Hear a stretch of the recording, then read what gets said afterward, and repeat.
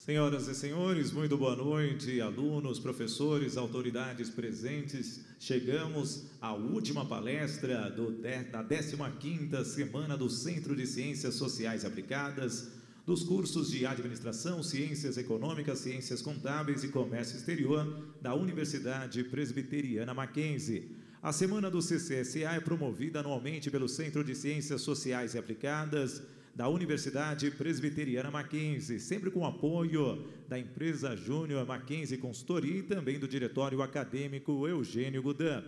Para iniciarmos as atividades dessa noite, será composta a mesa solene. Convido a presidir o excelentíssimo diretor do Centro de Ciências Sociais e Aplicadas, o professor doutor Adilson Aderito da Silva.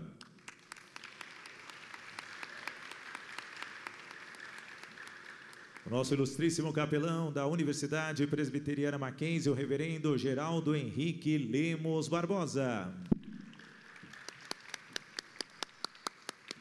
Digníssimo coordenador do curso de Ciências Econômicas, o professor doutor Paulo Rogério Scarano. Digníssimo coordenador do curso de Ciências Contábeis, o professor doutor Flávio Roberto Mantovani. Recebamos o digníssimo coordenador dos cursos de Administração e Comércio Exterior, o professor doutor Sérgio Silva Dantas. Digníssima coordenadora geral da semana do CCSA 2016, a professora doutora Jamile Barbosa Cavalcante Pereira. Convido o presidente da empresa Júnior Mackenzie Consultoria, o acadêmico Victor Simone de Souza.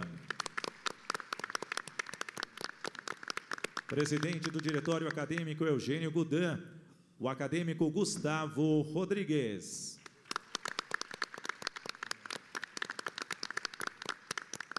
E convido o nosso ilustre palestrante, diretor internacional, comercial e desenvolvimento brasileiro de mercado da Bovespa, o senhor Cláudio Avanian Jacob.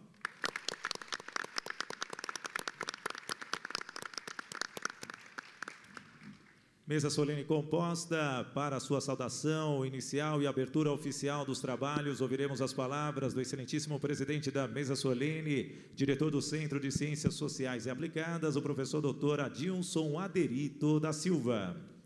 Boa noite a todos. Estou muito feliz com a última palestra que ouviremos. É, ao longo de toda uma semana de aprendizado, segunda-feira estávamos aqui na abertura Hoje nós estamos na, no encerramento já. Então, eu acho que nós todos nós tivemos muito, muitos aprendizados. Então, é, louvado seja Deus por isso. Quero agradecer ao Cláudio Jacob, que vai fechar essa semana. Então, rogar a Deus as mais ricas bênçãos sobre a sua vida. Quero agradecer a vocês, alunos, por todo o apoio, participação, aos professores, aos coordenadores é, a professora Jamile, que coordenou toda a equipe, a empresa Júnior, o DAEG, ou seja, estamos todos de muito, muito, muito felizes e de parabéns, porque foram muitas palestras e muitas palestras boas.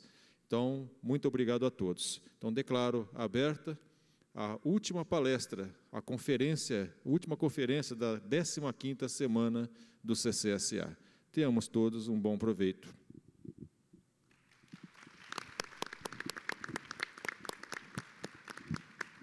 Convido a todos a entoarmos o hino nacional brasileiro.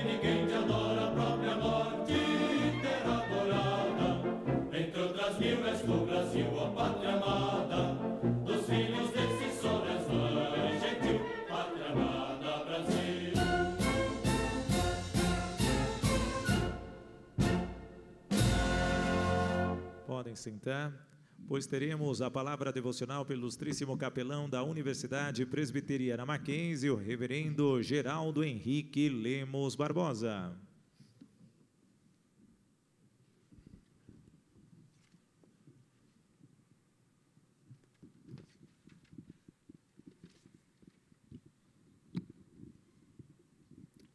Boa noite a todos, com a graça e a paz do Senhor. Queria cumprimentar toda a mesa, na pessoa do, senhor Cláudio Jacó. Seja bem-vindo em nossa casa. E eu queria já. Eu queria pedir desculpa. Eu vou explicar por que eu vou pedir desculpa. Ah, eu fiz uma devocional ah, essa semana e eu falei sobre ah, os meus ratinhos, porque eu sou doutorando em distúrbios do desenvolvimento pela universidade e eu estudo ratos.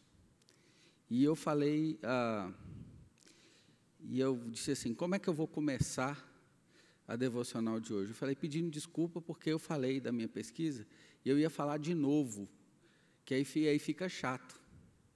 É uma situação chata, porque, mas eu vou explicar por que, que eu falo tanto nisso. Porque eu passo de 5 a 6, né, de 4 a 5 horas, de segunda a sábado, no laboratório. Então eu fico com isso muito na minha cabeça.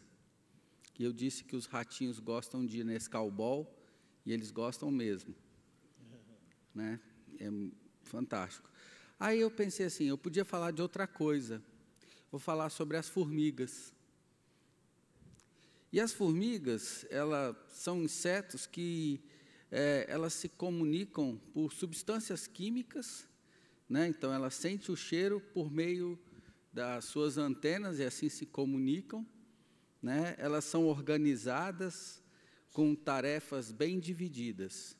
Então tem a rainha, que é o objetivo dela, a tarefa dela é a reprodução da colônia, e ela pode viver até 18 anos. tem as sentinelas, que são as operárias, ou as seguranças, né? Se são sentinelas, elas fazem as seguranças. E tem as operárias e as enfermeiras. As operárias fazem os túneis do formigueiro, os túneis do formigueiro e buscam alimentos. E as enfermeiras que cuidam das larvas. Então, cada um tem a sua função, cada um tem a sua responsabilidade dentro do formigueiro. Mas aí vocês podem pensar, e daí? Não é? Claro que algumas pessoas pensaram, outras não. Mas, ah, quando eu pensei na devocional de hoje, eu lembrei do sábio Salomão.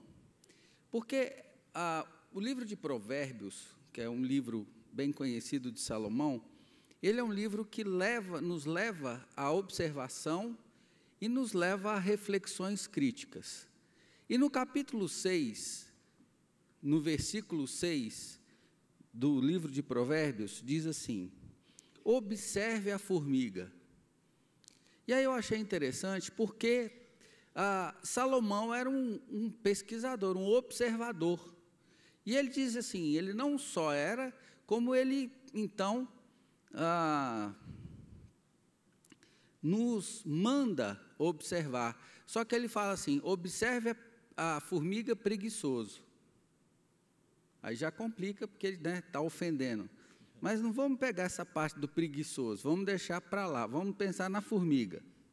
Observe a formiga preguiçoso, reflita nos caminhos dela e seja sábio. Ela não tem chefe, nem supervisor, nem governante, e ainda assim armazena as suas provisões no verão e na época da colheita junta o seu alimento. Então eu queria que a gente guardasse a, a lição ou a reflexão bíblica dessa noite seria assim: os três Is da formiga. Os três Is, letra I da formiga. Primeiro I da formiga é integridade. Integridade é uma palavra que ela vem do latim e que ela significa conduta reta, pessoa educada imparcial, brioso, pundonoroso. Bom, né? Você sabe por que, eu usei essas duas palavras? Porque ela impressiona o palestrante. Ele fala assim: ó, o capelão é inteligente, falou brioso, pundonoroso, mas dá a ideia de inocência, justiça e perfeição. E o que que Salomão fala? Salomão fala: observe a formiga e veja o caminho da formiga. É um caminho de justiça, de perfeição e de inocência. Por isso que eu gosto tanto de crianças. Eu gosto muito de crianças. Eu estudo ratos por causa das crianças, porque eu estudo o córtex pré-frontal. Um dia desse eu estava falando todo empolgado com uma aluna do direito. E aí eu não sabia que ela era do direito, porque ela estava na na porta da psicologia. Aí eu estou, não, porque o córtex pré-frontal é assim, as funções executivas e tal, tal, tal, transtorno, déficit de atenção, hiperatividade, aquela coisa toda. Ela olhou assim, eu faço direito. Eu falei, desculpa. Não entendeu nada, né, o que eu disse. Então, a primeira coisa que eu queria que vocês guardassem, o primeiro I, é o I da justiça, da inocência, da perfeição que é o I que chama integridade. Eu estava falando que eu gosto muito de criança, porque criança, a inocência dela nos ensina muito. E as formigas são assim. Elas têm uma inocência que leva à justiça e à perfeição da, do, da organização do formigueiro. Segundo I, que eu gostaria que vocês guardassem essa noite, é iniciativa. Por quê? Salomão percebeu, na observação que ele fez do formigueiro, que ela não precisa de chefe, nem de comando, nem de nada. Ela sabe a função que ela tem que exercer.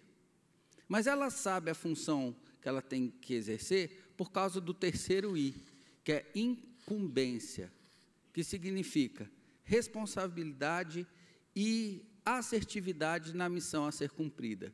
Então, esses três Is eu gostaria que vocês guardassem no coração, na mente, para que vocês pudessem refletir criticamente sobre a sociedade que nós vivemos. Integridade, iniciativa e incumbência. Vamos ter uma palavra de oração, agradecendo a Deus pela vida do nosso palestrante e pelo encerramento dessa semana que teremos, né, tão bem encerrada. Vamos falar com Deus. Santo Deus, muito obrigado por essa semana que é muito rica em, na construção do conhecimento e do saber, tanto dos nossos docentes, mas principalmente dos nossos discentes. Eu louvo a Deus pela vida do Sr. Cláudio, que se encontra aqui conosco, e que ele possa transmitir o seu saber, para que a gente possa sentir e melhorar o nosso saber também. Eu louvo a Deus por todas as famílias aqui representadas, em nome de Jesus. Amém. Tenham uma boa palestra.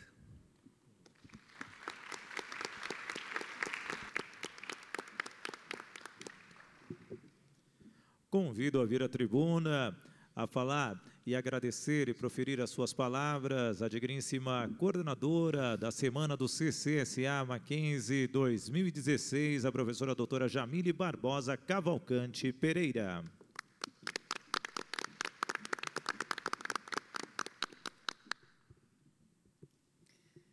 Boa noite a todos. Saúdo o professor Aderito, os coordenadores, o nosso capelão e o palestrante da noite de hoje, que juntos compõem a mesa da abertura desta solenidade. Chegamos à última palestra da 15ª semana do CCSA e tenho algumas palavras para dizer.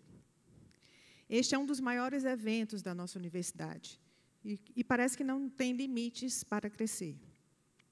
No auge da sua, da sua juventude, se assim posso falar, ele se afirma mais uma vez com a realização de mais de 50 palestras por semana e de mais de 10 oficinas oferecidas ao nosso, ao nosso corpo estudantil e à comunidade em geral. E, mediante esta dimensão, como coordenadora geral deste evento, não poderia deixar de expressar o meu profundo agradecimento à direção do CCSA, na pessoa do professor Aderito, que mais uma vez depositou em mim a sua confiança para que eu pudesse planejar e desenvolver uma gestão para cada atividade realizada. Acredito que o resultado obtido foi positivo, mas não poderia ser diferente, porque não estive sozinha. Além da própria direção, idealizaram o evento comigo os coordenadores dos cursos de administração, de ciências econômicas e de ciências contábeis, com o total apoio do Instituto Presbiteriano Mackenzie, da reitoria e da capelania.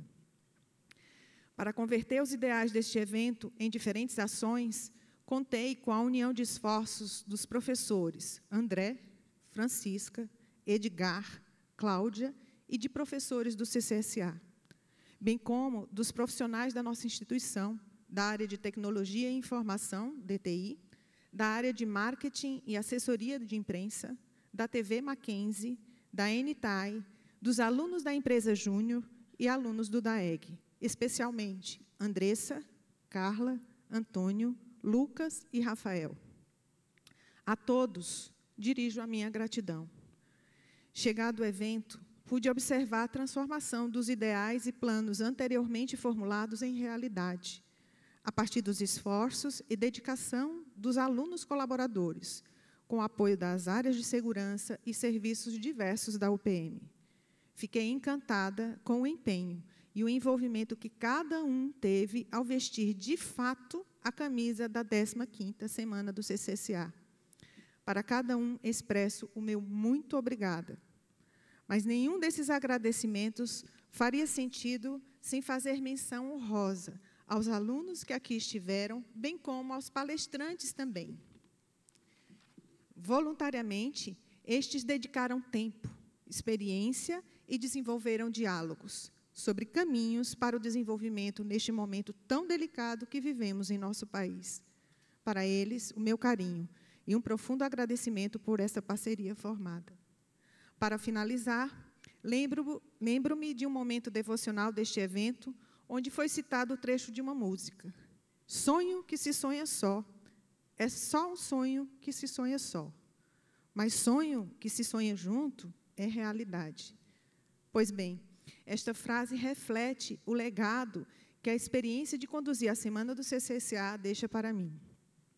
Acredito que, de algum modo, este evento tenha deixado algo para cada um. Então, assim, tudo terá valido a pena. Muito obrigada a todos.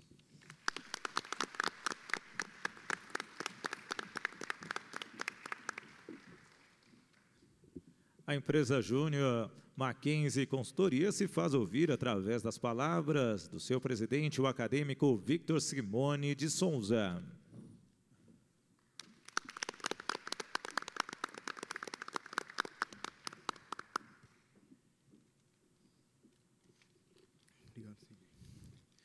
É, boa noite a todos. É, gostaria de saudar ao professor Aderito, e a professora Jamile, que acompanharam toda a equipe da, da empresa Júnior é, na execução do evento, é, também aos demais é, pessoas que compõem a mesa. A mesa. E, bem, eu confesso que essa é uma noite muito especial para mim, é muito significativo estar aqui. E eu gostaria de falar um pouco de experiências. Para falar um pouco da importância desse evento, gostaria de citar o filósofo John Locke, ele seguia uma linha tradicional do empirismo, em que acreditava que todo conhecimento é adquirido através de experiências. E, bem, essa terceira semana do CCSA, que eu tenho a oportunidade de estar acompanhando, desde que eu, tenho, desde que entrei no Mackenzie, e eu acredito que eu posso afirmar que a semana do CCSA é uma dessas grandes experiências que fazem as pessoas se desenvolverem, é, adquirirem grande conhecimento. É, um grande exemplo foi nessa semana mesmo. É, tivemos grandes palestras de diversos temas e setores, desde mercado, educação, política, sociedade. É, ouvimos desde questões referentes às Olimpíadas até a liberdade econômica. Então, uma semana é um evento, uma experiência que traz diversos temas de, que enriquecem o conhecimento do, dos alunos e de todos que aqui assistem. E eu acredito muito é, na transformação do país. E eu vejo que temos duas ferramentas para conseguirmos, sim, é, ter um país mais competitivo, com empresas melhores, governos melhores, escolas melhores, um país mais íntegro e comprometido com a verdade. E as ferramentas é, são a educação e o empreendedorismo. E eu vejo que a Semana do CSSA é uma, um, uma experiência, é algo que caminha o país para essa transformação. De alguma forma, ela causa um impacto. É, quantos alunos não vão adquirir conhecimento assistindo palestras e vão levar esse conhecimento para fora, aplicar nas empresas que trabalham, aplicar na, no dia a dia, é, na sociedade em que vive. Então, eu vejo a Semana CSSA como uma grande experiência, é, com atitude que trans, instiga a atitude empreendedora é, de quem participa e quem assiste as palestras, e também muito importante para a educação. E eu gostaria de deixar um agradecimento, é, a, mais uma vez, à, professora Jamile, que coordenou o evento, acompanhou toda a equipe, a todos os professores que estiveram envolvidos, ao DAEG, e um agradecimento especial, e dizer que eu estou muito orgulhoso é, dos membros da empresa Júnior, Carla Brandão, Andressa Toledo, Murilo Lobato, Júlia Bonanho e Antônio Capelli. E a todos os outros membros que é, colaboraram com o evento, ajudaram a empresa, a todos os colaboradores. E eu gostaria de deixar também, por fim, uma, uma mensagem. É, eu sonho muito com a transformação do país. Eu acredito que isso tudo que estamos vivendo, estamos vivendo uma fase. Eu vejo muitas pessoas falando: ah, o Brasil não tem jeito, o Brasil é, acabou, temos que ir para fora, temos que ir para a Europa, Estados Unidos. Mas eu não quero sair. É, esse é o meu país e eu quero ficar. Então, por isso, fica essa mensagem de acreditar que o Brasil não, não acabou. É, todos juntos temos que lutar por ele. E muito obrigado e boa noite a todos.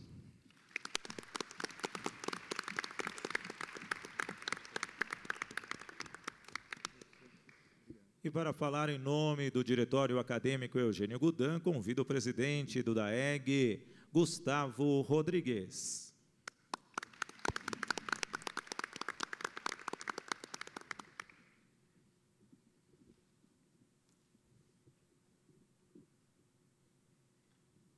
Boa noite a todos.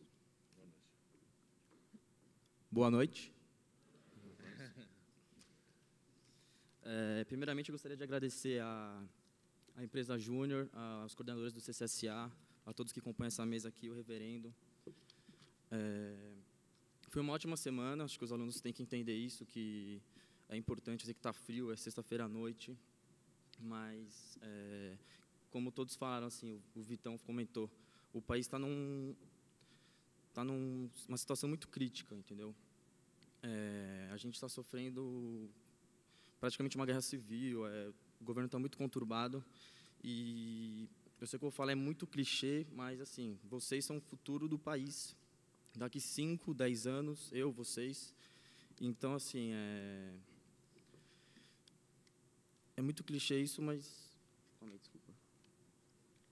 Vocês estarão trabalhando em empresas, em bancos, e terão que tomar decisões muito difíceis. Ficarão em situações onde fazer o certo é mais difícil do que fazer o errado. E muitas pessoas optam por fazer o que é mais fácil do que fazer o que é certo. E graças a atitudes assim, o nosso país está do jeito que está. É, eu sinto que os estudantes estão mais acomodados do que antigamente.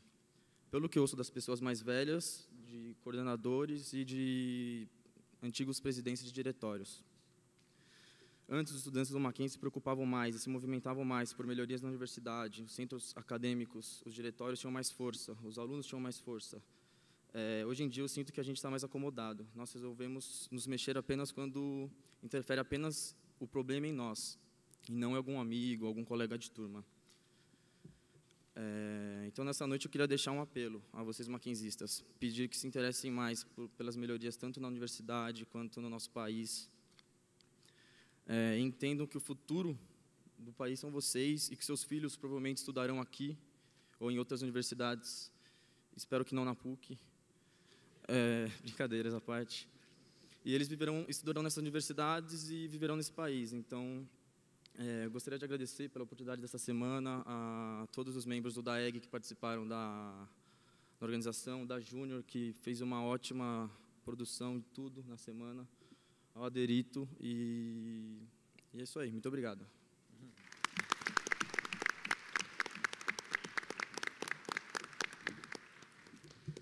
Com as palavras do Daeg, nesse momento será decomposta a mesa solene. Inicio justamente agradecemos, agradecendo a presença do presidente do Diretório Acadêmico, Eugênio Gudan, o acadêmico Gustavo Rodrigues. Na sequência, aproveito para agradecer a presença do presidente da empresa Júnior Mackenzie Consultoria, o acadêmico Victor Simone de Souza. O agradecimento à digníssima coordenadora geral da Semana do CCSA Mackenzie 2016, professora doutora Jamile Barbosa Cavalcante Pereira. O agradecimento ao digníssimo coordenador dos cursos de Administração e Comércio Exterior, o professor doutor Sérgio Silva Dantas. O agradecimento ao digníssimo coordenador de Ciências Contábeis, o professor Dr. Flávio Roberto Mantovani. O agradecimento ao digníssimo coordenador do curso de Ciências Econômicas, o professor Dr. Paulo Rogério Scarano. Também ao ilustríssimo capelão da Universidade Presbiteriana Mackenzie, o reverendo Geraldo Henrique Lemos Barbosa e ao excelentíssimo presidente da mesa solene, diretor do Centro de Ciências Sociais Aplicadas da Universidade Presbiteriana Mackenzie, o professor Dr. Adilson Aderito da Silva. Permanece no palco. Hoje, ele que é economista formado por nossa casa, a Universidade Presbiteriana Mackenzie, com mestrado pela Pontifícia Universidade Católica de São Paulo, doutorado pelo Instituto de Economia da Unicamp, trabalha na BMF, Bovespa desde o ano 2000, onde atuou nas áreas de relações com empresas, relações com investidores e atualmente é diretor internacional comercial e de desenvolvimento de mercado. Para a apresentação da palestra Importância e Impacto da BMF Bovespa no Desenvolvimento Brasileiro, a Universidade Presbiteriana Mackenzie abre as portas do seu principal auditório, o Rui Barbosa, para receber o senhor Cláudio Avanian Jacobi.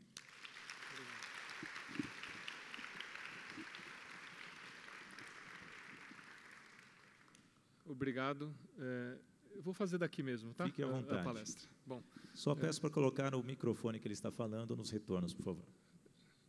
tá bom assim? Tá, tá bom. Boa noite.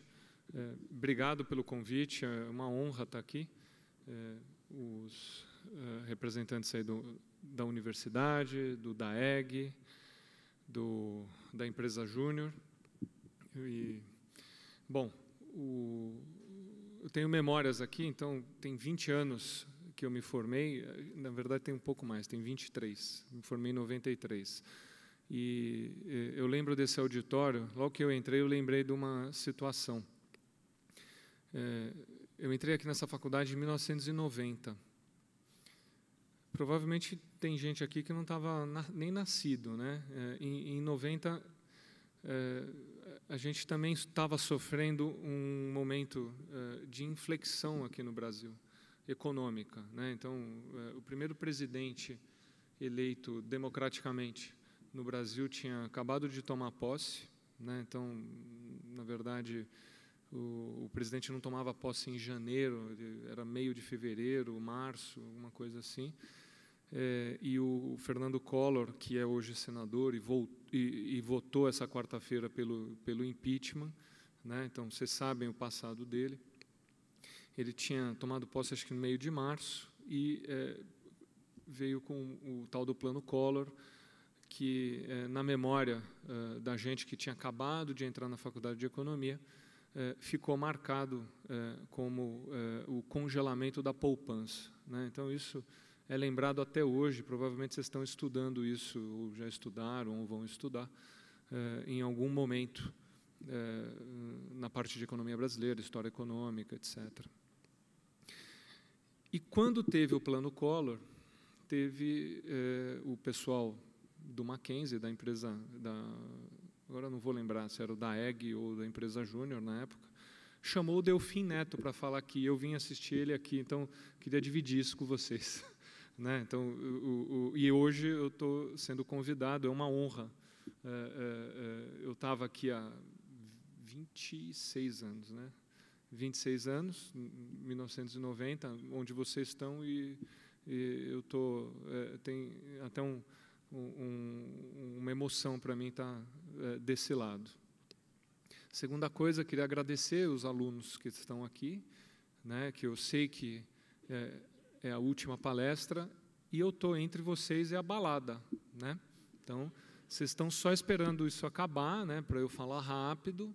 Eu já combinei com a professora que eu vou ser rápido e vocês vão estar tá livres. Mas, de qualquer maneira, obrigado. Eu sei que vocês não têm nem que assinar lista de chamada hoje, né? então estão aqui de vontade própria. E, então, o, o que eu vou, eu vou, eu vou dividir basicamente dois. Vou falar um pouco da bolsa, é, se vocês quiserem, eu posso falar um pouco também da, da, minha carreira, né? não sei se interessa, mas acho que interessa mais a Bolsa, o mercado de capitais. E aí depois a gente abre para perguntas, né? Então acho que fica melhor. Tá, então, a Bolsa, o, o, ela tem, acho que praticamente a idade do Mackenzie, né? ela é de 1890. O Mackenzie é de quando? É 1870, né?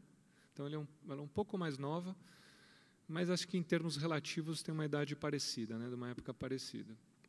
A Bovespa, né, ela nasceu é, como uma entidade pública lá é, em 1890, basicamente para negociar é, na época títulos é, de dívida dos estados. Né? Então cada região, cada estado tinha a sua bolsa.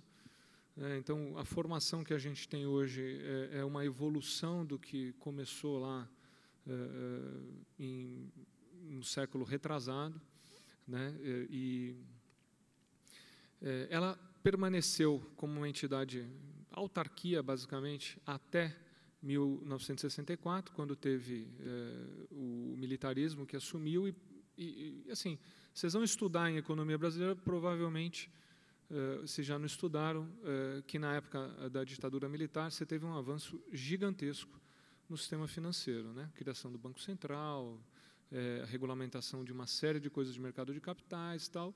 Uma das coisas que nunca está escrito nesses livros né, é um processo eh, de mutualização da Bolsa de Valores, que aconteceu, na verdade, em 1967. Aí vocês vão falar, puxa, o que é o processo de mutualização da Bolsa? A Bolsa deixa de ser uma entidade é, pública para virar uma entidade privada no formato de clube. E aí, é, é, o que, que é o, o, o ser mutual? Né?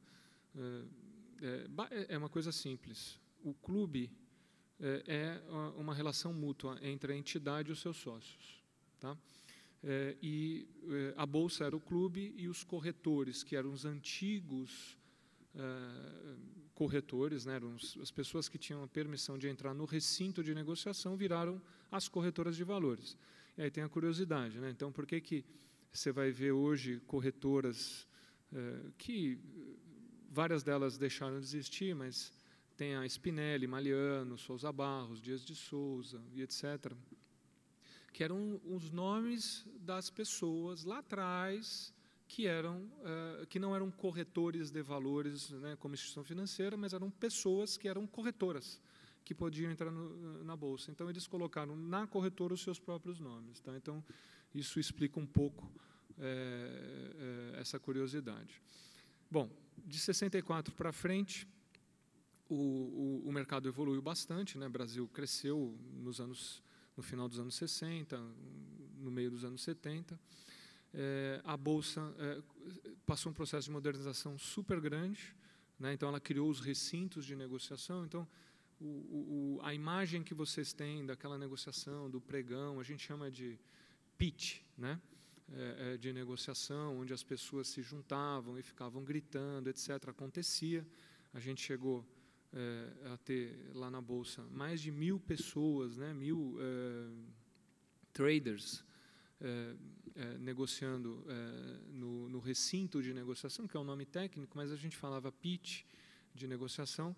Aí uma curiosidade também, né, a regra, né, como é que a gente fazia é, para organizar aquela bagunça? Na verdade, aquela bagunça era bem organizada, tinha regra, tinha supervisão e etc. você tinha as rodas de negociação. Né? É, e aquelas rodas, você tinha a roda da atividade de telecom, da atividade de energia, de banco, de, de Petrobras, Vale, mineração e etc. Né?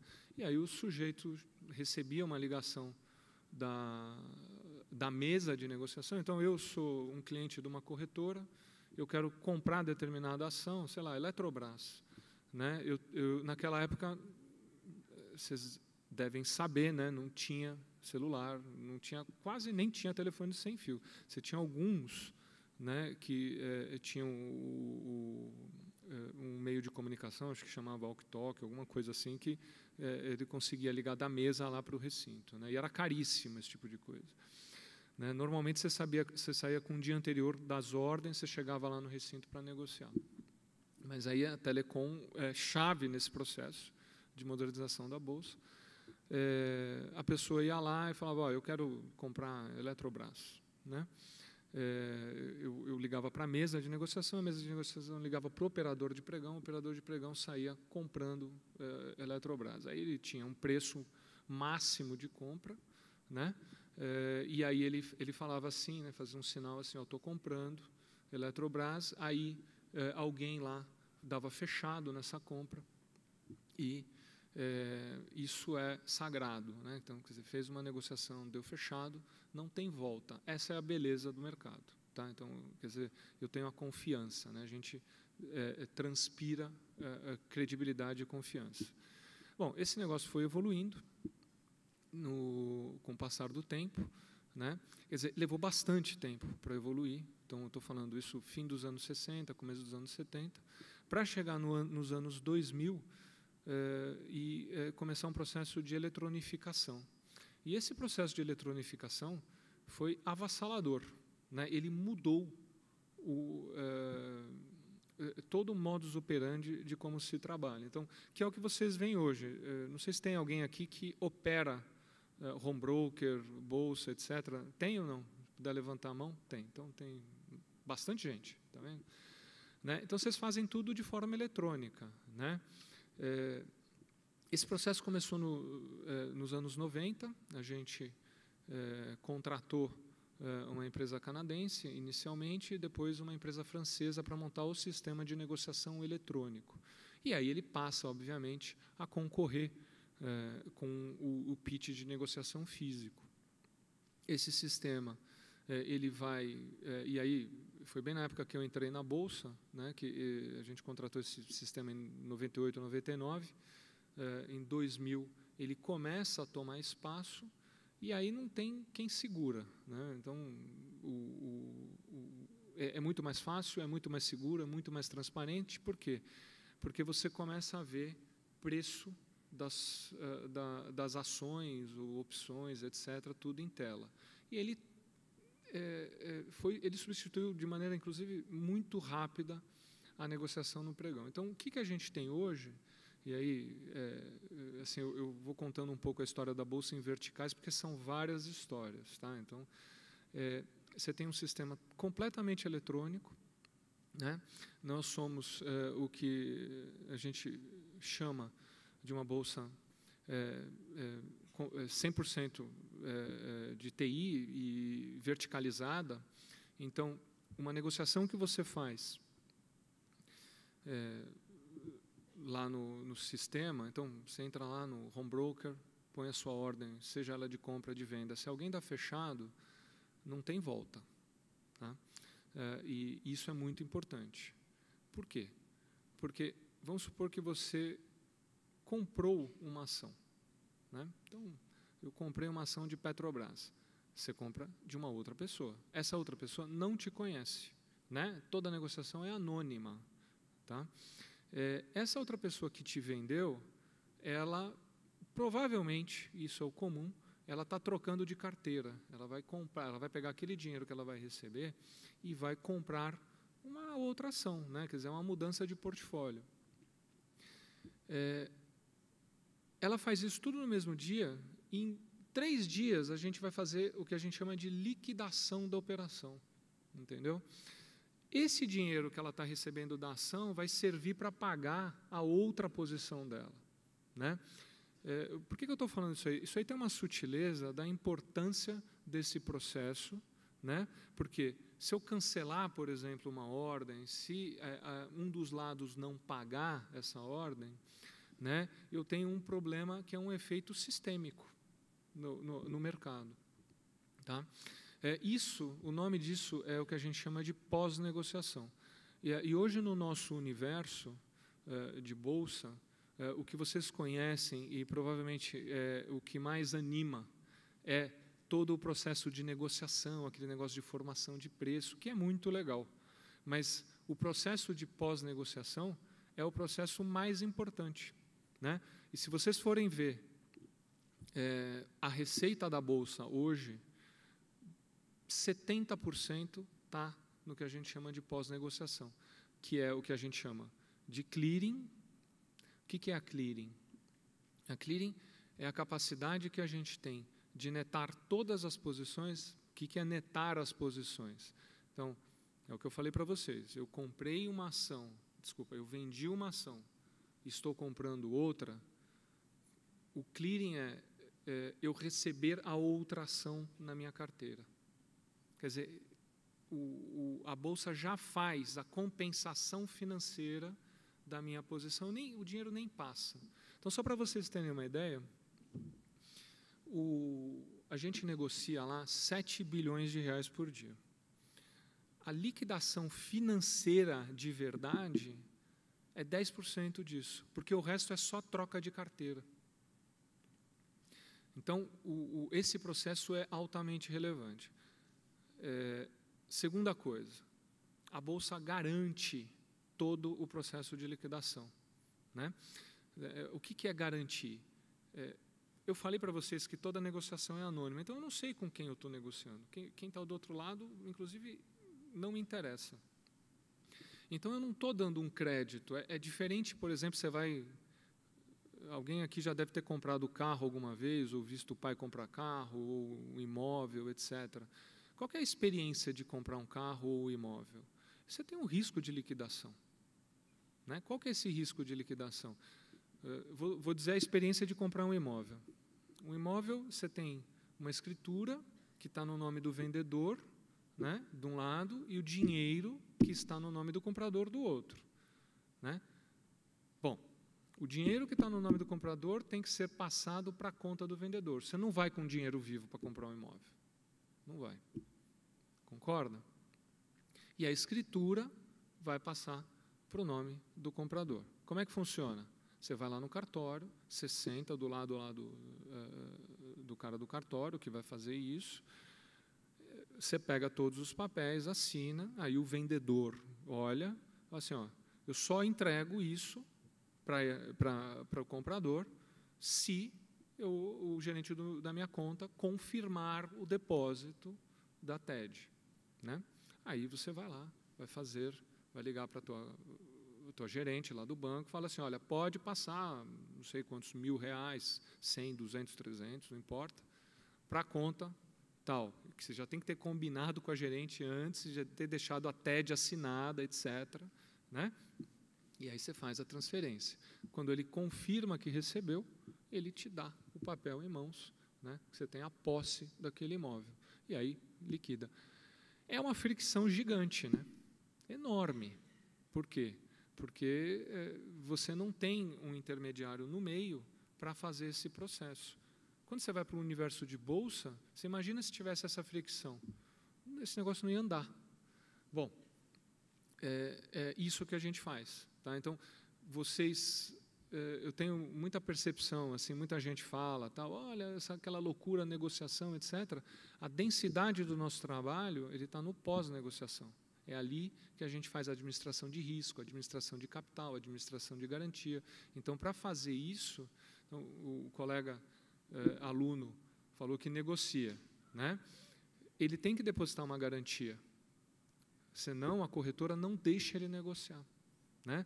A corretora não deixa ele vender uma ação que não está na carteira dele e não deixa ele comprar uma ação se ele não deposita o dinheiro lá. E essa corretora é responsável por essa liquidação. Então, isso é uma parte.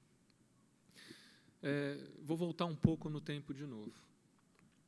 A gente passa os anos 80 é, é, Bovespa, tem várias bolsas no Brasil, o, o, e aí surge uma ideia de construir um que a gente chama de mercado de futuros. O, o pessoal da Bovespa, na época, decidiu criar uma outra bolsa com uma, um background, um frame diferente, e aí cria a BMF. A BMF foi criada para lançar o contrato de Bovespa Futuro, que é uma outra vertical, né, que a gente fala do mercado de capitais. Esse, esse mercado, o Ibovespa Futuro, então foi criada uma bolsa, basicamente os mesmos participantes da Bovespa ajudaram a fundar e trouxeram grandes bancos para trabalhar aqui. A BMF, ela evolui. É, no começo dos anos 90, a gente lançou o contrato de DI futuro. O DI é o contrato de depósito interfinanceiro, que é basicamente o, a, a, o benchmark, né, o base da, de todo o mercado de taxa de juros no Brasil. Tá? É, na sequência, a gente cria o, o mercado de câmbio, que é o dólar real, basicamente. Você tem outras moedas. E tem uh, os produtos de commodity, que aí a gente foi e comprou algumas bolsas de mercadoria lá no começo dos anos 90 e juntou tudo. Tá? Tem ouro também. Bom, essa bolsa, obviamente, considerando a volatilidade que o Brasil tinha em termos de taxa de juros, taxa de câmbio e é, índice, é, explode de crescer. A bolsa cresce gigantescamente nos anos 90. Tá? As duas bolsas acabam crescendo bastante. Quando chega nos anos 2000, é, e, e, aí aquele processo de clearing que eu falei para vocês, de pós-negociação, é mais importante ainda, ainda mais importante. Tá?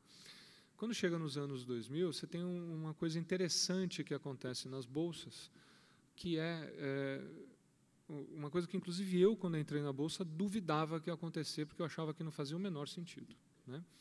que é a abertura de capital.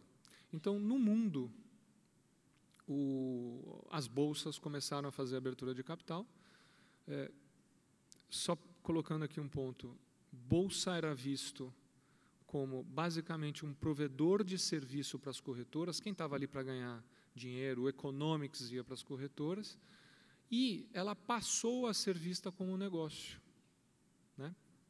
E aí o, você tem é, Bolsa de Nova York abre capital, a Nasdaq abre capital, a Bolsa de Londres, a Bolsa da Alemanha, a Bolsa da Espanha, bolsas na Ásia começaram a abrir capital, Austrália tal, e aí a gente começou a estudar. Eu era da Bovespa na época começou a estudar o processo de abertura de capital. Por quê? Porque os corretores, que eram os donos da bolsa, começaram a perceber que tinha algum valor aquele título patrimonial que eles tinham. Que era um título, basicamente, que na cabeça deles, eu, eu imagino, era um custo, né? porque eles tinham que comprar aquele negócio para poder participar do mercado, era obrigatório ter o título patrimonial. E eh, a gente começou a fazer conta aqui e ali, e um título, só para vocês terem ideia, que no ano 2001, 2002 valia 700, 800 mil reais, a gente começou a fazer uma conta, olha, pelo tamanho da empresa, pelo tamanho do resultado, etc., deve valer coisa de 5 milhões, 10 milhões e etc. Bom, acabou que a gente abriu o capital da empresa, né? então isso animou uh, a turma. Era um processo que também ia ajudar a gente a modernizar a empresa em termos de, de gestão, é, e a gente tocou em frente. Então chegou em 2007, é, e aí, já misturando um pouquinho da história, né, eu estava é, na área de relações com empresas, né, eu, eu trabalhava com para tentar ajudar empresas a entrarem na bolsa, abrirem capital, etc. fui fazer parte do time que fez a abertura de capital da Bovespa e a gente lançou a bolsa e foi um super sucesso na, na época. Né? Então, é, foi a, a, maior, o maior IPO uh, é, da, da história do Brasil até aquele momento, até vir OGX e depois vir uh, o Banco Santander. Então, foi 6 bilhões e meio de reais e teve um que a gente chama de overbook no IPO. Eu acho que de umas 15 ou 20 vezes, o que é um número estrondoso, tá? um número muito grande. É, isso foi em outubro de 2007. Em novembro de 2007, a BMF, que até então não estava junto, fez a abertura de capital e foi o mesmo a mesma loja, fez a abertura e é, listou com a gente, né, porque aí a gente era a bolsa de ações. Deu três meses e era uma coisa meio lógica, isso estava acontecendo no mundo inteiro. As uh, bolsas de regiões começaram a fazer é, movimentos de fusão. Então, isso aconteceu na Espanha, aconteceu no México, aconteceu no Canadá, aconteceu na Austrália, aconteceu em Hong Kong, em Singapura, na Rússia, em vários lugares no mundo. Né? É, e várias bolsas fazendo é, fusão é, intercontinental também. Bom, a gente tem um, um, quando você faz abertura de capital, você está sujeito a um outro tipo de exposição, que é a exposição de um investidor, né? Quer dizer, é um cara capitalista que está buscando maximizar a posição dele. O que não é ruim, é, ele, ele faz uma provocação muito boa, muito saudável. E fez essa provocação. A gente começou, três meses depois, a estudar a fusão. Em maio de 2008, a fusão estava aprovada, aí a gente conseguiu montar uma empresa é, bem completa em termos de negociação. Então, hoje, você tem dentro de um mesmo sistema a negociação de ações, que é o mais é, visível né, para todo mundo. Então, está lá o Ibovespa, que ele pega é, um cálculo de uma carteira de ações. A gente tem a negociação de opção sobre ação, que é um outro mercado super relevante tem a negociação do mercado de futuros, e aí voltando, né, o mercado de futuros de taxa de juros, que hoje é o maior mercado da Bolsa. Né? Então a gente não tem essa impressão de fora, mas o maior mercado da Bolsa é o mercado de futuros de taxa de juros. Você tem o mercado de futuro de taxa de câmbio, e o, o, o dentro do mercado futuro, é, é, o menor é o do Ibovespa, que foi como foi criada a BMF. Né? Quer dizer, o, ele é o terceiro eh, mercado só que ele é 10% do mercado de taxa de juros, só para vocês terem ideia. É, o que, que é, é, assim, se vocês tiverem interesse, eu posso falar um pouco mais é, do mercado futuro, mas é, eu acho que isso é importante. O, o, o, mercado à vista é basicamente você tradar ações, título, então é, vocês compram é, tesouro direto, por exemplo, é um mercado à vista. Tá? Por quê? Porque ele você faz uma compra, ele liquida naquele momento e acabou. Né? Então, quem vendeu pega o dinheiro, quem comprou fica com a posição, fica posicionado naquele papel. Isso é mercado à vista. Mercado de opção é, é, é basicamente é, é, você pagar um prêmio para ter uma opção é, de comprar um ativo ou de vender um ativo.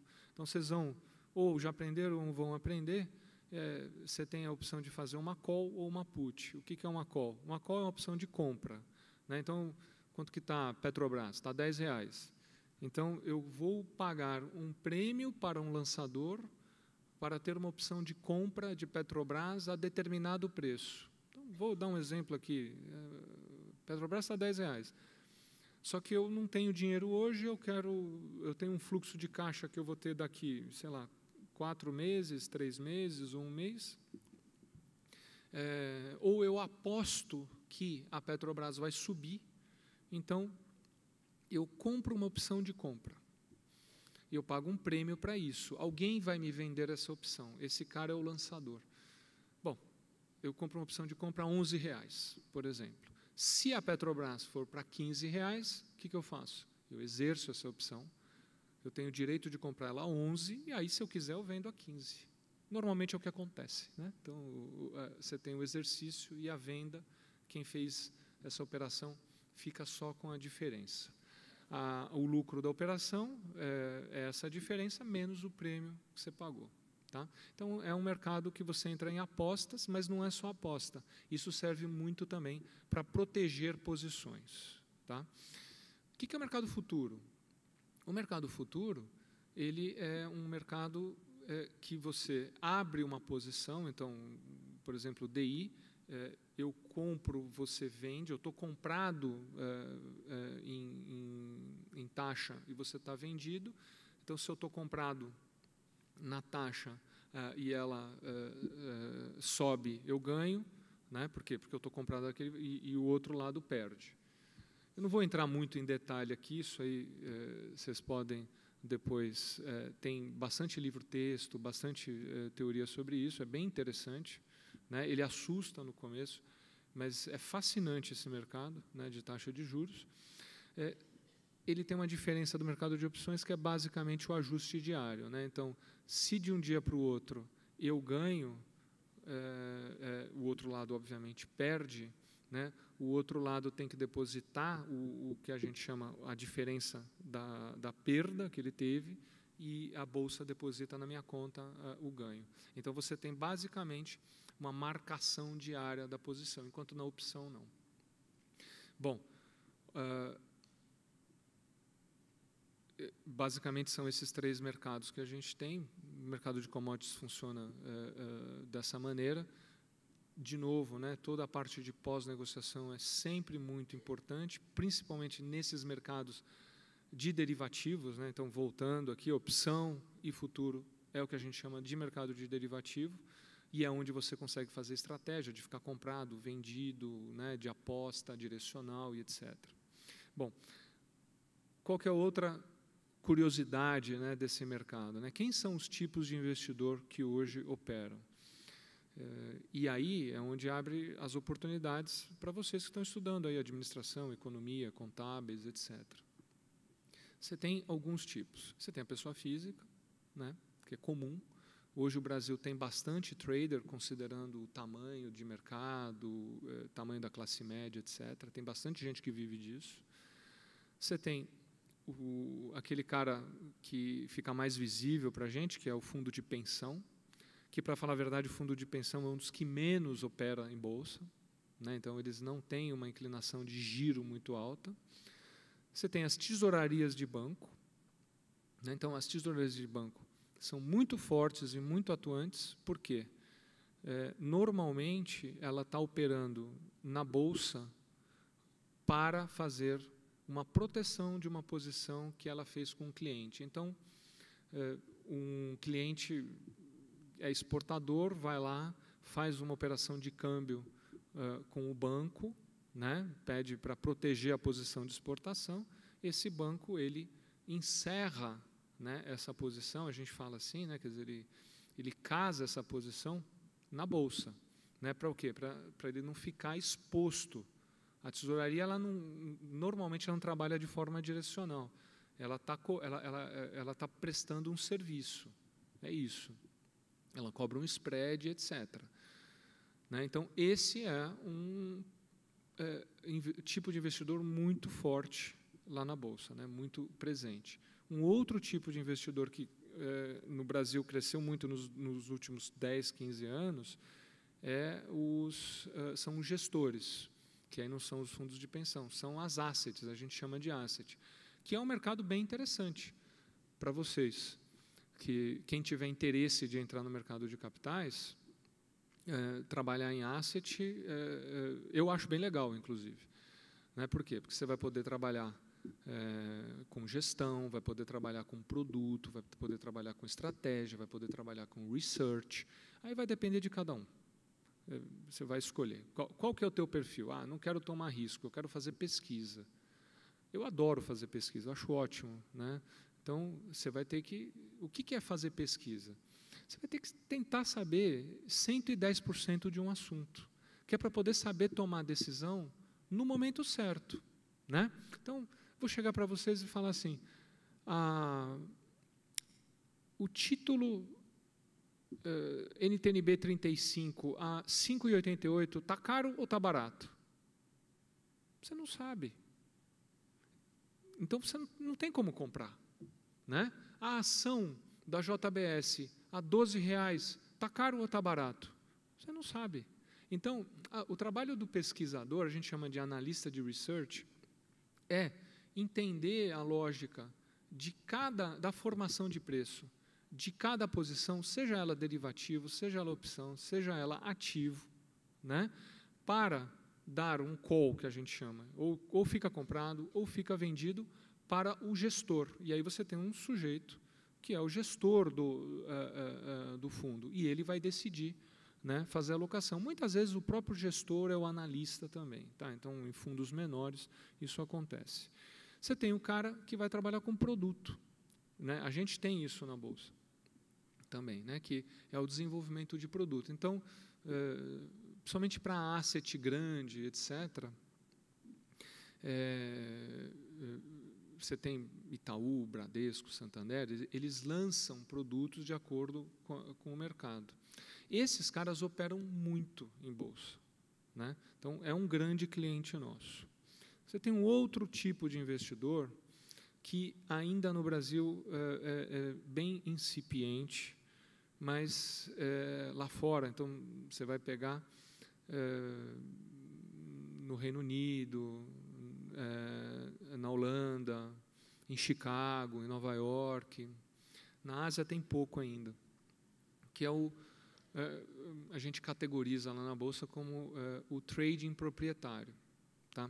O que, que esse cara faz? Ele faz um modelo matemático quantitativo e cria uma relação de aderência entre é, ativos, tá? Então, eu vou dar um exemplo bem básico, porque eu também não sou muito sofisticado nesse assunto, tá? Mas a relação entre o preço de Bradesco e Itaú, né? Ele cria um modelo matemático em, eh, em que ele arbitra essa relação de preço, tá? Então, sempre que ele escapa daquele túnel de arbitragem, né? Esse cara vai lá e põe uma ordem de compra ou de venda e ele acerta essa arbitragem. Ele erra e ele acerta. Tá? Então, é, normalmente esses caras operam o que a gente chama de spreads baixíssimos. O spread é a diferença entre a compra e a venda, né? em é, milissegundos, na verdade em microsegundos, ele opera na frente dos outros. Tá? Então, para ele, a questão da velocidade é muito alta.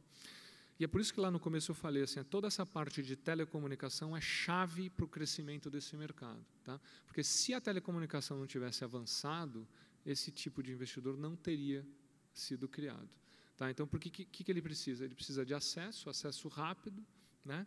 É, e, obviamente, normalmente eles têm um indiano para fazer o modelo matemático, tá?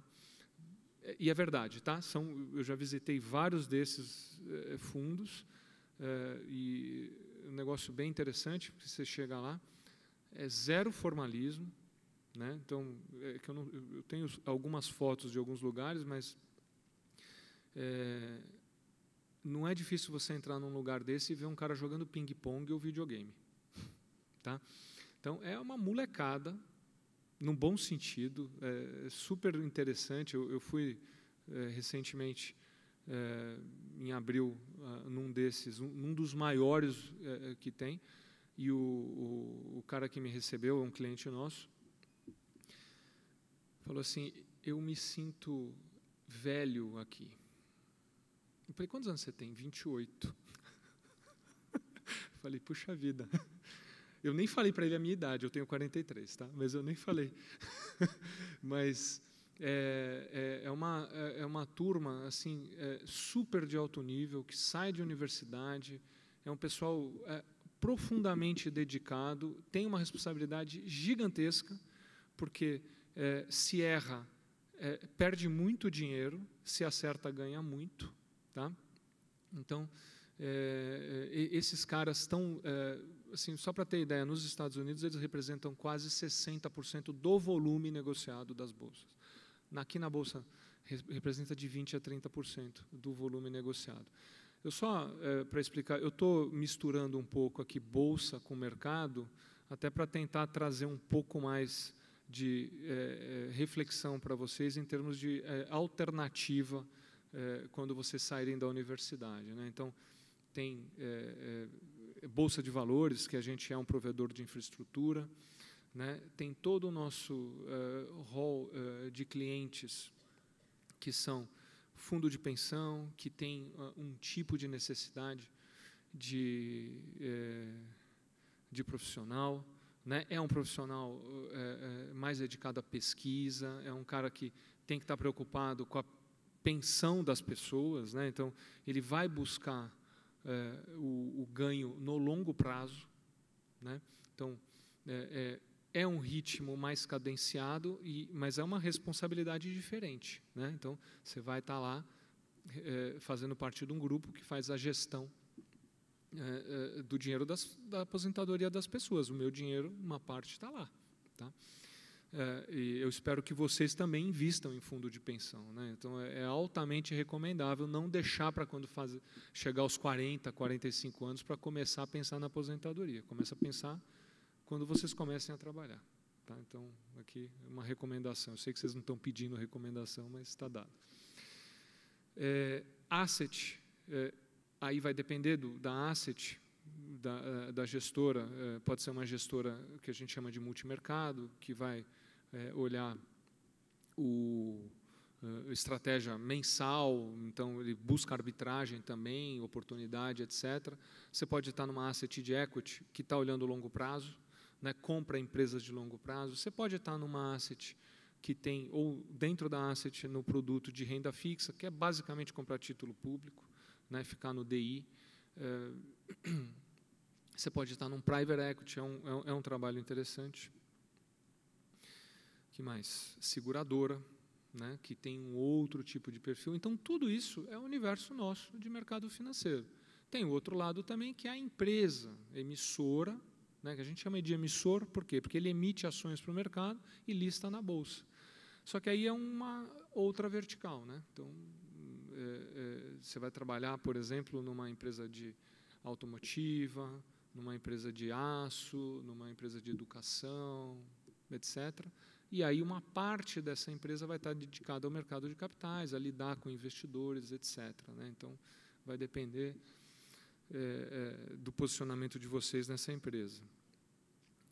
É, Pode ser trabalhar lá fora, no investidor é, estrangeiro, é, isso é bem legal, uma experiência bem relevante. Eu não tive essa experiência, né, mas eu conheço bastante gente que teve. É, e tem também o setor de intermediação. Né? Então, eu estou falando do, do, cliente final, operando na, nova, na nossa infraestrutura, mas no meio disso tem todo o universo eh, de, que a gente chama de brokeragem, né, de, corre, de, corre, eh, de corretoras.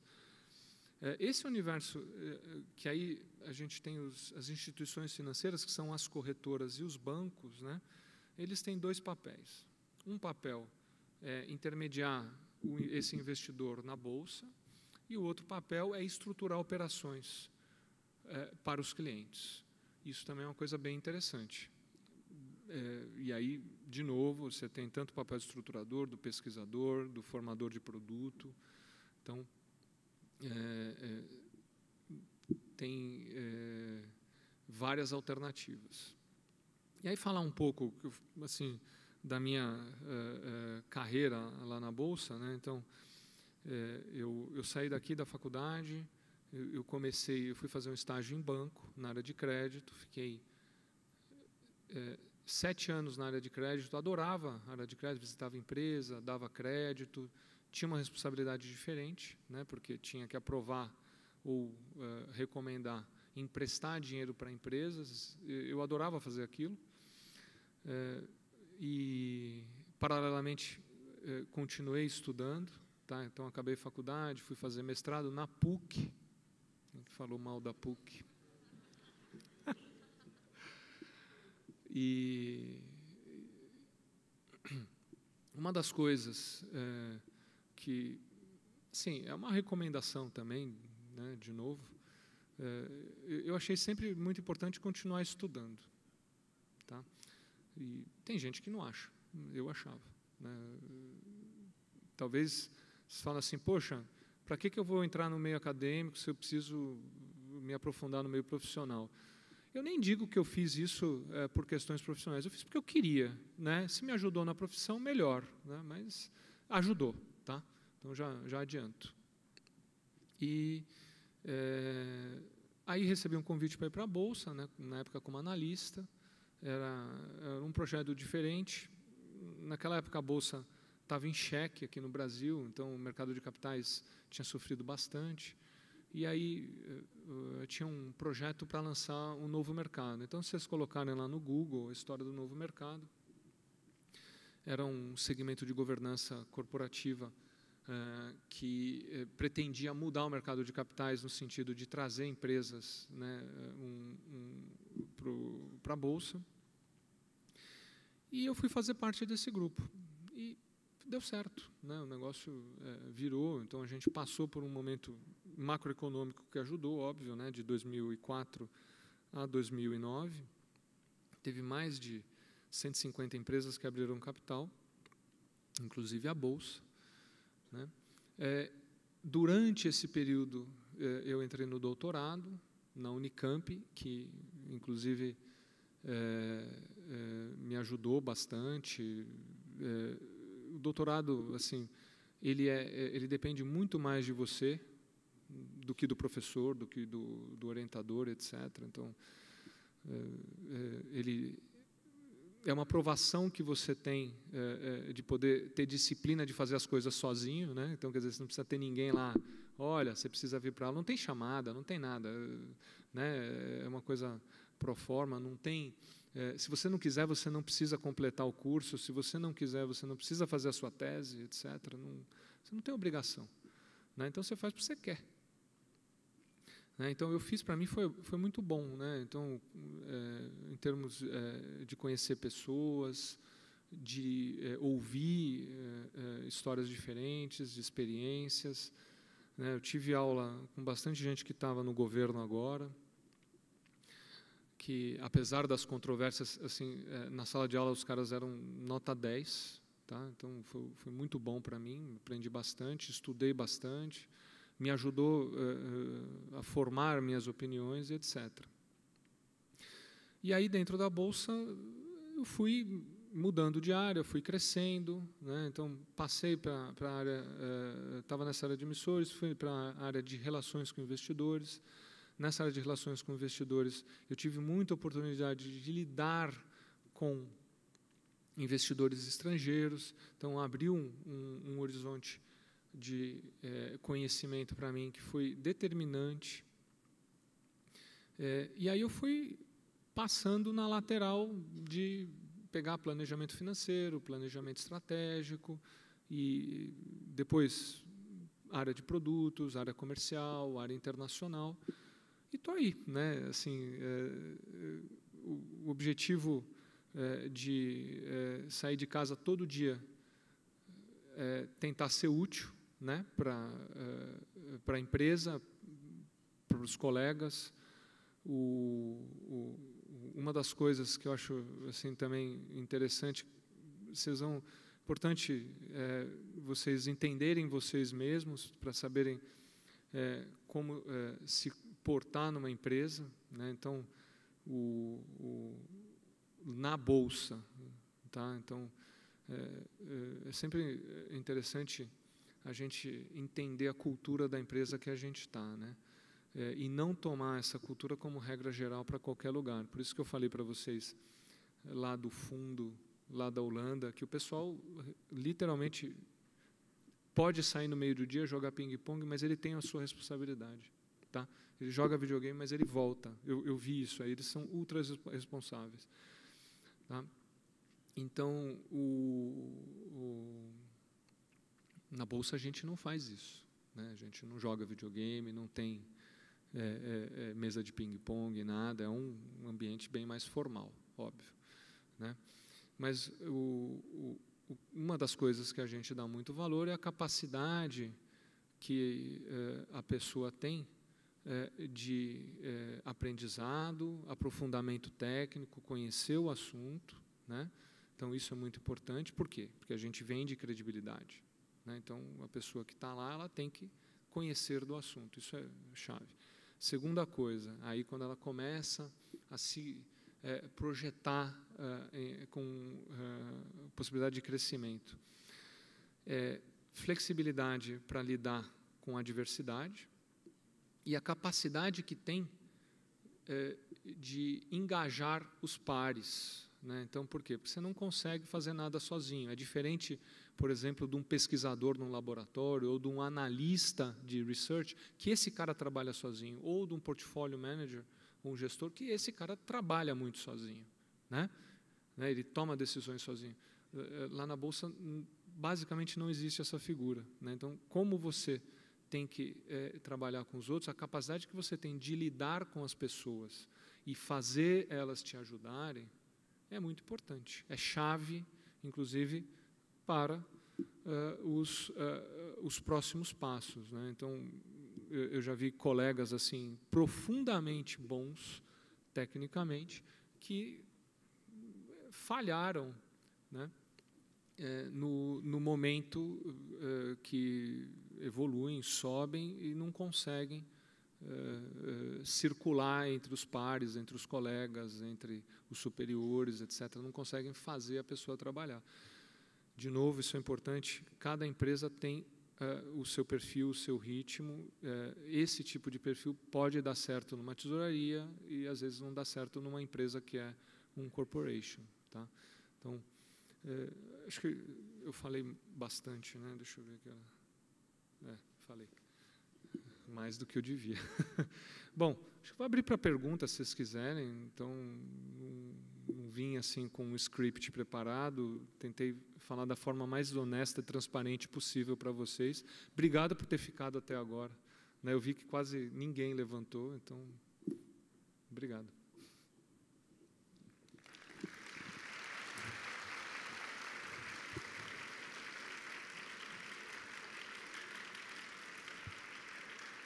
Inicialmente, o nosso agradecimento a Cláudio Avanian Jacob. Nesse momento, abrimos para as perguntas, por favor. Como sempre, seu nome, o curso que está realizando aqui no Mackenzie e também o, a pergunta com objetividade. Então, quem se prontifica a fazer a primeira pergunta, por favor, levante a mão para a nossa equipe. Por favor, fique em pé.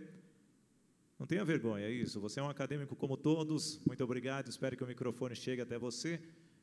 Rapidinho, nosso colaborador da semana do CCSA.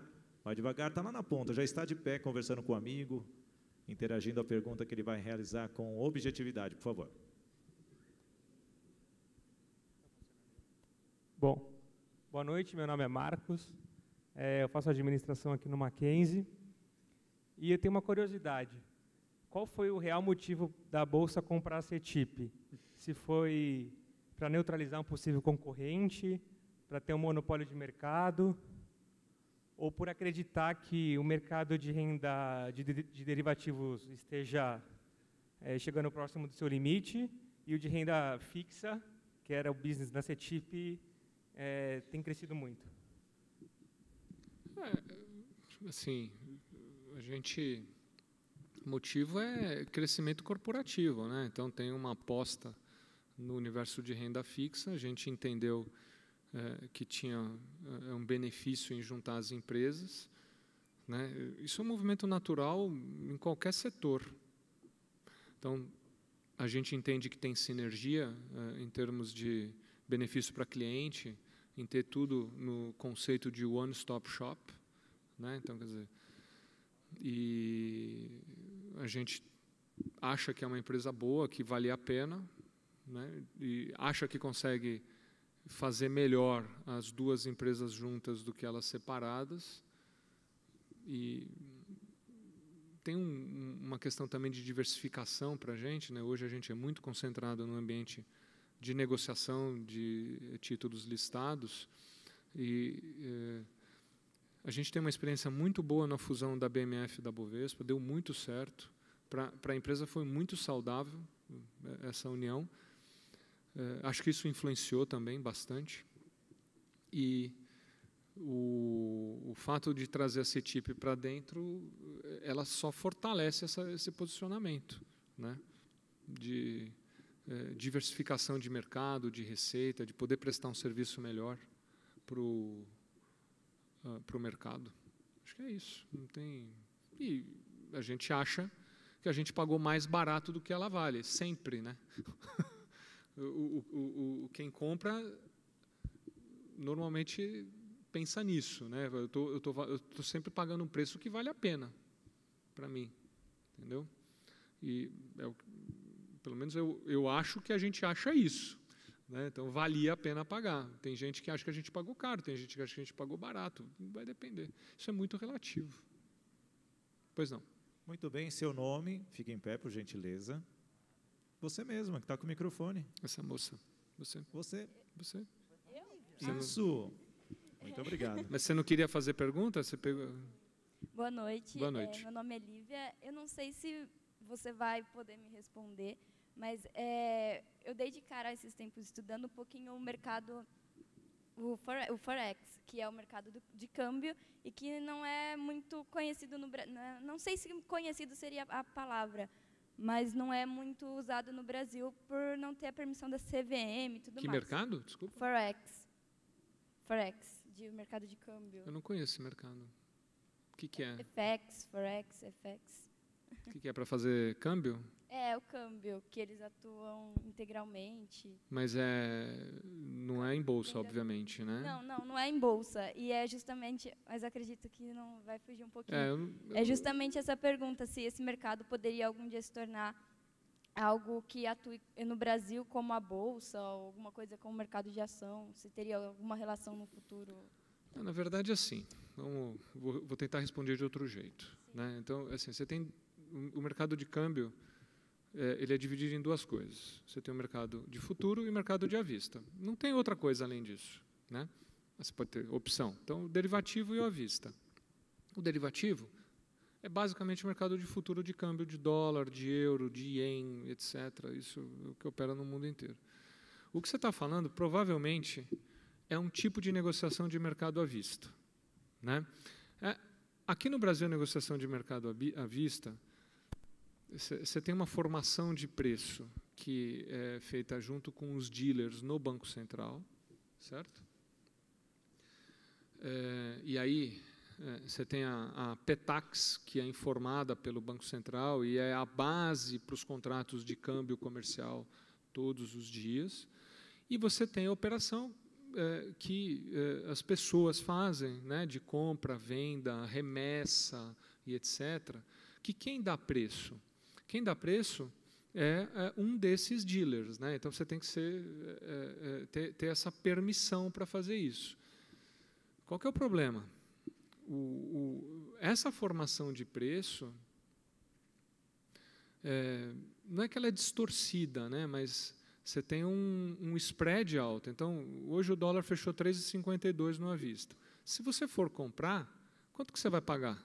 Você não paga 3,52. 3,52 é a Petax, mas você vai pagar provavelmente uns 3,60, 3,62. Se você for vender, você vai conseguir uns 3,41, 3,42. Eu não sei porque que eu não, assim, eu não sei hoje, mas normalmente é uns 3, 4%, tanto para cima quanto para baixo. Isso é o que a gente chama de spread, né?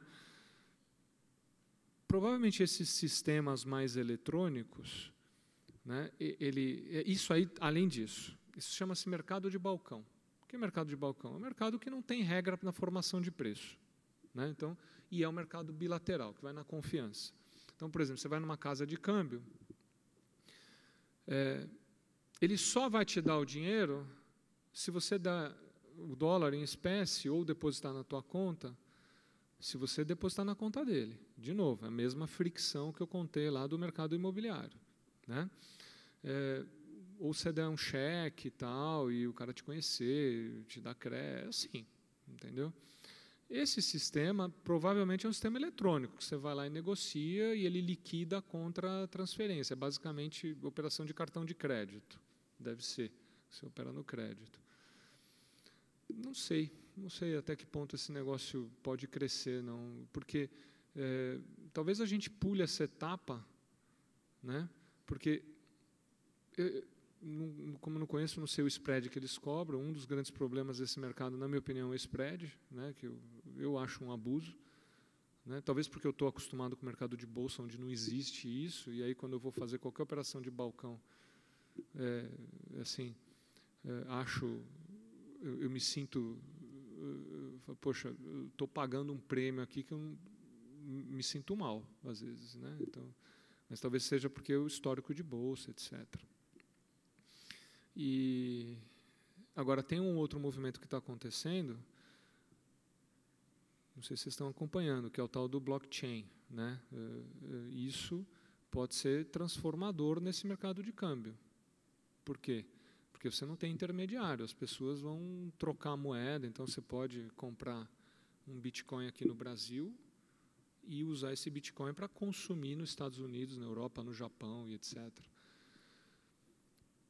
Comecem a estudar esse assunto aí, porque isso aí é, é, é transformador. Tá? Então, todas as infraestruturas de mercado no mundo estão estudando esse assunto profundamente, estão desti destinando recursos. É outra coisa que é, é, acho que é interessante vocês é, prestarem atenção é a inovação financeira. Inovação financeira é chave em, é, é, no, futuro aí quem quiser entrar no mercado financeiro, tá? E é um negócio sensacional. Muito bem. Só pedir um favor para a técnica, eu preciso que o microfone que está na plateia tenha aqui no retorno, por gentileza, que nós só estamos ouvindo pelo PA. É, não okay? dá para ouvir, né? Tá é, tá, ouvir, né? Isso mesmo. Então, o nosso palestrante não está conseguindo ouvir a pergunta, ele está tendo que se direcionar ao ouvido para o PA, tá bom? Muito obrigado. É, por favor, seu nome, seu curso e a pergunta com objetividade. É, boa noite, meu nome é Marcelo, estou no último ano de Ciências Contábeis. É, duas dúvidas, por favor. É, a primeira, quando você tocou no assunto da mutualização, é, se encerra esse período de mutualização com a abertura, da, com o IPO da, da Bolsa de Valores, e como é que aconteceu esse processo, aqueles detentores de títulos passaram a adquirir, adquirir uma, uma, uma proporção de ações equivalente dentro daquele estudo que você comentou? E, foi um, um processo tá. nesse sentido? Tá e a segunda, é, a questão do insider trading ainda é algo muito presente no processo de fusões e aquisições? Tá. É, obrigado pela pergunta eu, acabei pulando essa parte mesmo, mas sim. Né? Então, o, o, o, corretor que tinha o título patrimonial teve proporcionalmente é, a quantidade de títulos transformada em ações. Né? Então, foi basicamente isso. Por isso que quando eu falei o título valia, sei lá, um milhão e eh, o equivalente em ações em que ele podia vender virou 10, 5, eu não lembro na época é, é, milhões, mas era assim: a gente trocou um título patrimonial por tantas mil ações e aí ele deixou de ser, inclusive, mutual. Né? Então, a gente tirou a regra de que precisa ser acionista para uh, ser corretor. Isso parou de existir. Tá? Então, e, e, nem tem nem mais nenhuma bolsa que tenha essa regra no mundo. Tá? Qualquer outra pergunta? Desculpa. Do? Tá. Essa do, do insider trading está é, cada vez mais difícil ser, né? Por quê? Porque à medida que é, a gente vai evoluindo em termos de capacidade de monitoramento, telecomunicação, é, TI, a gente tem umas 120 pessoas na parte de supervisão. Só para você ver como esse negócio é importante. Por quê? Porque teve muito problema. Nos anos 80, nos anos 90, o pessoal desacreditava o mercado porque teve muito problema realmente por causa disso. O... Esse negócio é grave, é, é assim, profundamente grave, tá? E a gente não trata isso é, judicialmente, né? mas a gente reporta isso para o regulador, para a CVM. Então, vou contar um caso que aconteceu, que eu acho que foi uma, uma das maiores, uma grande estupidez, mas teve uma empresa que ia anunciar alguma coisa, porque o insider trading não é só em fusão e aquisição, tá? Ele acontece em qualquer situação. Então, vou dar um exemplo. O, o, se você vai tomar uma multa muito grande do governo, se você sabe e aquilo vai impactar no preço da ação, você já está é, impedido de operar. Você não precisa ninguém te avisar que você, você não pode operar. Entendeu? Então, e teve uma empresa que aconteceu justamente o contrário. Ela ia anunciar um negócio, uma, eu não lembro o que é, mas é, não é o que importa. O que importa é que o, o RI da empresa, o RI é o, o relação com o investidor, né? É o cara que vai anunciar para o mercado, aquela, sei lá o que, que era, se era uma mina de minério, de ouro, petróleo, ou um produto novo, uma empresa nova que ia comprar, não importa. Ele ia anunciar. O que, que ele fez? Uh, o número é mais ou menos esse. Ele foi lá e comprou, uh, sei lá, 20 ou 30 mil reais da ação própria, né, e depois de dois dias a ação subiu, acho que dobrou de preço, ele ganhou 20 ou 30 mil reais, ele vendeu. É, imagina que a gente tem um, um servidor enorme, né, que a gente olha todas as posições é, e todos os ganhos extraordinários de quem nunca operou. Então a gente tem um sistema que olha, né? Assim, poxa, esse cara operou uma vez na vida, e ele ganhou 100%. Espera aí, vamos olhar. Ah, puta, vamos descobrir. Ixi, é o RI da empresa. Manda lá para a CVM. Mandou para a CVM. Olha, é, sei lá, anunciou no dia 10. Né? Ah, o cara comprou a ação no dia 8 ou no dia 9. Aí vai investigar, vai investigar. Quando que fechou o contrato? Puta, fechou no dia 5 ou 6. o cara foi multado. E a multa é o dobro do valor do ganho dele. Mas isso não é o pior, né? Porque o nome dele fica público, né? O, o, o cara, assim, a carreira do cara vai embora. Vai embora. Isso foi uma grande estupidez, mas assim, assim, isso a gente olha com profundidade. Isso é gravíssimo, gravíssimo. Mas obrigado pela pergunta. É interessante até, assim, eu não toquei nesse ponto de regulação, mas acho que é interessante.